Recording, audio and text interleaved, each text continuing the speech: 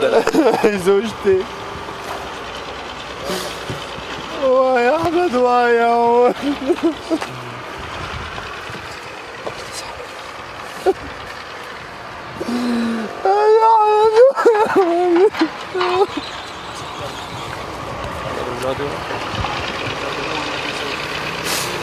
زوجتي واحمد ويا يا شقور يا شقور ما بتركك يوم. كنت قال لك يا بابا. خد في الأرض لك ياسر وينه ياسر؟ آه لا لا وين محمد يا عبد الكريم حمودي ياسر. سلام أحمد. أيوشي يا بابا دقيقة. يلا حاج يا الدور يا يا دلال دير بالك على أهل البلاد يا دلال. يلا الحمد لله. قال له يا بابا يا شقور كل ما فوت وأطلع. قال له يا شقور يا بابا. أبو عبدو هذا يا شقرة يا شقرة وشقور كتير يا روحي. يا شقرة مبعوفك يوم يا بابا. أنت تلعوم إيه والله. دلعوا يا شقرة يا شقرة مبعوفك يوم. يا أيوشي يا أيوشي. الله يرحمه. الله يرحمه ايوشي روحي أيوشي. ربنا استحبه ربنا استحبه وصار يمسكوا في. هيك يمسكوا في هيك با با با با با با. لا يزال أهالي خان شيخون يلملمون جراحهم ويبحثون عن مفقوديهم ويدفنون شهدائهم في مقابرهم الجماعية. عبد الحميد اليوسف هو أحد الناجين من هذه المجزرة المروعة والبشعة التي ارتكبت بحق المدنيين. فقد عبد الحميد أكثر من 25 شخص من أفراد عائلته عائلة اليوسف ومنهم كان زوجته وأطفاله التوأم. آية. وأحمد سيتحدث لي عبد الحميد عن ما عاشه في تلك اللحظات الصعبة والمؤلمة والقاسية جدا. السلام عليكم آه، أخي عبد الحميد. كيف اللحظة الأولى اللي عشت فيها آه، المجزرة اللي صارت بخان شيخون بالحي الشمالي؟ في تمام السابعة بالضبط. قامت أول غارة بالطيران المجرم.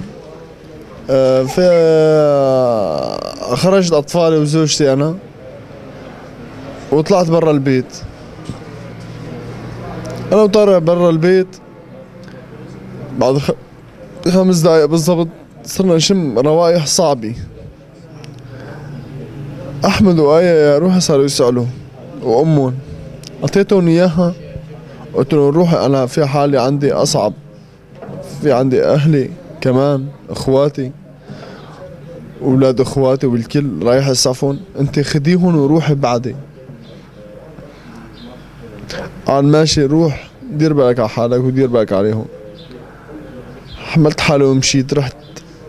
أول ما تواجهت بأخوي ياسر مسعف أخوه ابنه عمار الله يتقبله.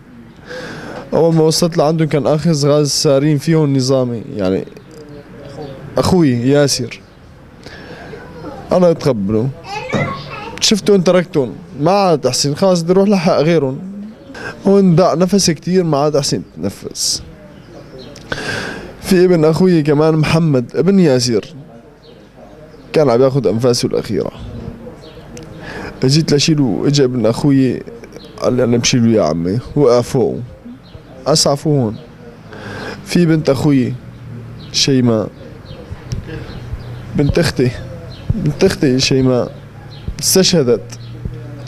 جيت لشيلها ما حسنت حاولت كتير كتير عم الغاز هون أنا ما عاد أحسن. أصحى حالي حسيت إنه الدنيا كلياتها برمت فيي ما عاد أحسن. أصحى على شي. إجا أخوي خايد قلت له السنين مدير على أهلي ما ضل في حدا منا. اسعفونا أخذوني أسعفوني أنا. أخذوني على المشفى.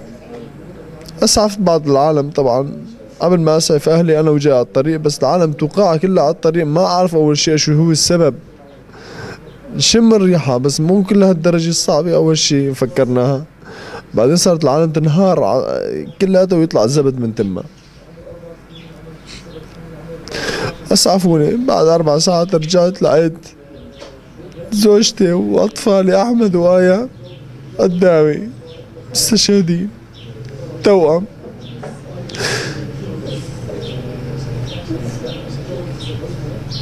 ما عاد احسي كيف شيء لقيت اخواتي كلهم ولاد عمي كلهم ومرت أخوي وولاد أخوي ولاد عمي وجيراننا كلياتهم كلهم مستشهدين لقيتهم ممدودين كلياتهم مدي وحدي ما لقيت غير احمد وياه غمضتهم بصدري وزوجتي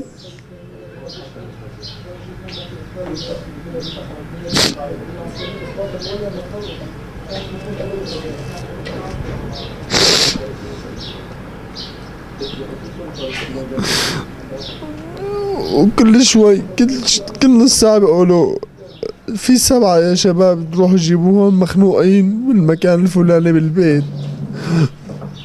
صار العدد فوق الستين شخص سبعين شخص. كل شوي يجيبوا لنا عالم مستشهد مخنوقة خنق واسعفوا عالم لبرا وما بعرف شو صار بعدين. دفنا ولا أخذت أحمد ويا دفنتهم واخواتي دفنت اولادي بإيدي أنا. زوجتي وأخواتي. آه. الحمد لله على سلامتك يا رب.